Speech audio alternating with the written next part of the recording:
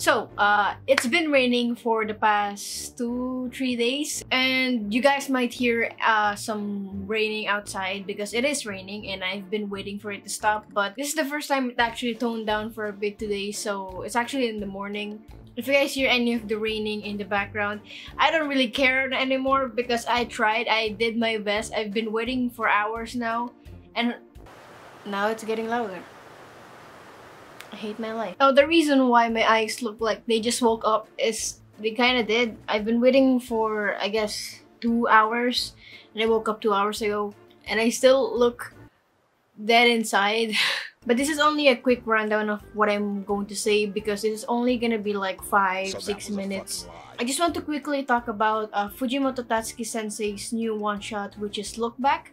Now, for some context, I have never actually consumed anything that Fujimoto Sensei's work. For example, Chainsaw Man, Fire Punch, I've never read them, and I've never actually seen any of them. Besides the trailer for Chainsaw Man, I'm I'm actually really, really hyped for Chainsaw Man because that trailer Oh, chef's kiss, man. But as a person who has never really consumed anything from Fujimoto Sensei's work, it's actually a very refreshing experience because let's talk about what actually is the one shot. So the one shot is titled Look Back, which is a story about two girls. I actually assumed that it was a girl and a boy, but at first I assumed it was that, but it was actually not. And it was actually refreshing that it's two girls or females that is trying to become a manga artist, which is extremely not not extreme, but like scarce to find in the manga industry. Although there are some successful ones. I use the word scarce so smoothly. I feel so smart right now. Now the story is about Fujino, I think. Now, I, I've never really consumed, again, I've said this before, but I know there are some references to uh, Fujimoto sensei's uh, work itself or himself and I think it's because uh, the other girl is called Kyomoto and the main girl is called Fujino which is like if you combine them and remove some of the syllables it's Fujimoto which is I don't know why that's that's just a cool reference to make and I don't really know if it's based on Fujimoto sensei's real life experience. Hopefully not because this this is extreme.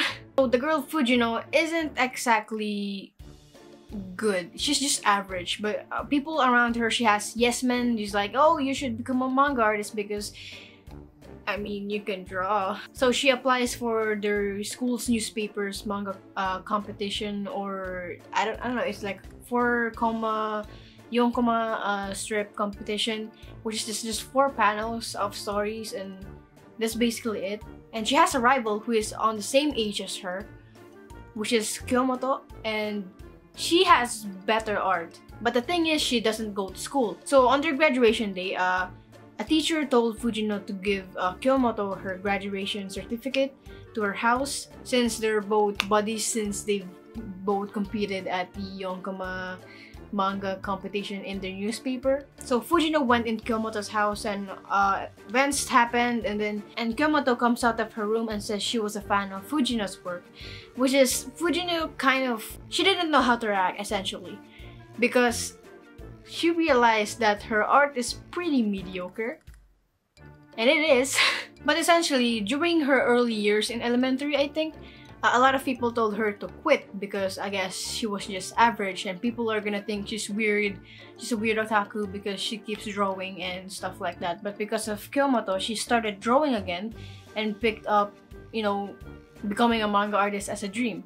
Then both Kyomoto and Fujino uh, teamed up to make a manga series and then I think they got published, I'm not really sure. But during those events, uh, Kyomoto decided to go to art school because she thinks her art isn't enough. But because they already made those bonds of wanting to become serialized, so they worked together and then they were they were together all the time just so that they could make a manga that could be published to Shueisha. Fujino tried to, you know, convince her to just not go to art school because it would be boring and stuff like that, but they eventually part ways and Fujino eventually started her own manga, which is Shark Kick.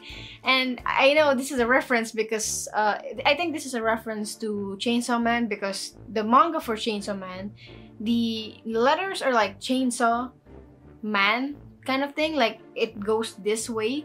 And then shark kick goes this way as well and I don't know I, I just found a lot of references that I was happy to understand because as someone who doesn't really consume any of Fujimoto Tatsuki's work I thought I was like oh I get this and then the unfortunate turn of events uh, while Fujino was being, you know, successful, she has an anime adaptation actually. So there was a news, fuck, there, there was a news that there's a guy who suddenly attacked an art school and killed 12 people and 9 people who are injured, I believe.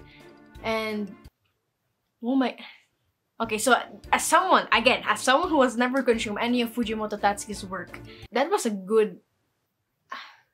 Fujimoto Tatsuki sensei's, sensei's art is super unique in a sense that you know, the way the lines work make it seem, you know, the expressions that uh, Sensei shows in his work is really, really good. So, Fujino found out that Kyomoto was one of the people that died during the attack. And uh, uh, I feel really sad because you you know like it's a one shot. You've never really experienced uh any attachment to these characters up until like page one. And it's only have it only has like 140 pages, which is impressive to make you feel something for just a short amount of time. So Kyomoto died. Fujino took a hiatus because you know mental health matters, and she visited uh, actual uh, house, and she had a lot of realizations that what if she never you know asked her to make manga with her and stuff like that or if she never pulled her out of her place in the first place in her house in the first place she would have never died. And you know she started realizing what's the point of drawing anymore. And the rain is making me even more sad.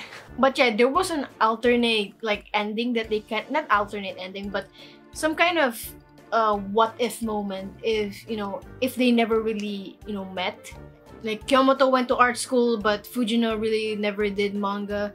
But then Fujino saved uh, Kyomoto from the guy who has an axe was it? I don't know. It was a weapon but it, it looks like an axe or a pickaxe. And then if they never you know pursued manga in the first place then she would have been able to save Kyomoto which is like her biggest regret and she kind of had this realization of what is the point of drawing anymore if it just caused her so much suffering and i thought that was a really really good read not only the art is phenomenal it's really good and it actually makes you feel something. The story itself is pretty much like a slice of life kind of thing which turned into something like a thriller or a drama at least.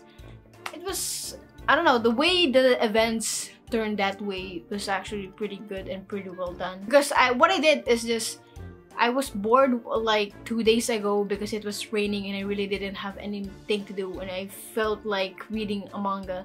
And I realized oh yeah look back is a pretty you know well talked about manga. It actually just had 4 million views in the Japanese side of things in the site in just two days which is like pretty amazing. So I thought I'd take a look. I went to Viz Media's uh, official site and it was free, so I read it, and then I got depressed. And yeah, because of that work, it made me look forward to Chainsaw Man even more. And I'm actually contemplating on whether I should buy the manga because I've been searching through like online shops on Chainsaw Man and it's all sold out and I'm waiting for it to restock because I want to watch the anime and I'm pretty sure the anime is gonna cover like all of 11 volumes in the manga so or if the anime actually does that I would definitely I mean based on the trailer alone I'm pretty sure I'm gonna like the, the anime and the story itself. It's only 11 volumes I would really love to get all of uh, Chainsaw Man eventually when the anime drops if I don't get disappointed that is but I'm pretty sure I won't get disappointed. Now, I've been filming for 15 minutes now, and I said I was only gonna film for 5 and 6 minutes. this has been a really long video. I really expected it to be shorter. I don't know if I edited this, if it's gonna be shorter than 10 minutes. Hopefully it will be shorter than 10 minutes because I don't want to make a video that long about just a one shot. So uh, thank you for watching and yeah, see you guys in the next video.